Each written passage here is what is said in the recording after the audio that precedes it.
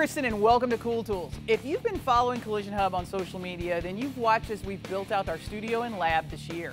And one of the first pieces of equipment we had to choose was a compressor. Like every shop, we needed air.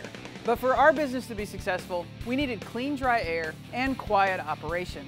After investigating many options in the industry, we picked a company and product that we had used and trusted on the set of several TV shows over the last five years, Kaeser. The Kaeser team was great to work with. After a review of our building, workstations, and air volume requirements, they recommended a pair of 5 horsepower rotary screw compressors with built-in dryers.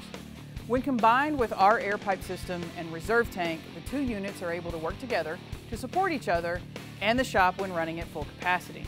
If it's a refinish class in the paint department and a sand tooling test and body, we've always got enough air to keep the shop running.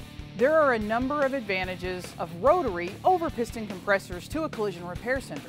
First, rotary compressors can operate at 100% of their duty cycle versus a piston compressor that averages 60 to 70% availability.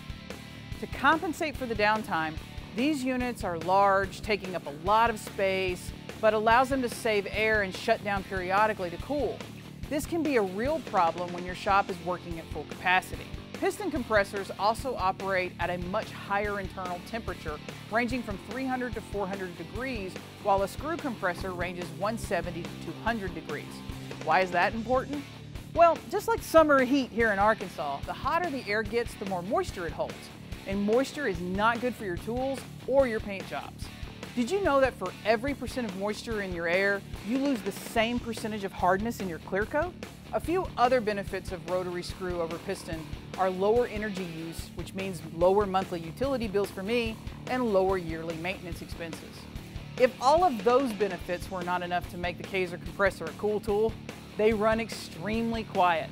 In fact, we've shot this entire episode while our units are running.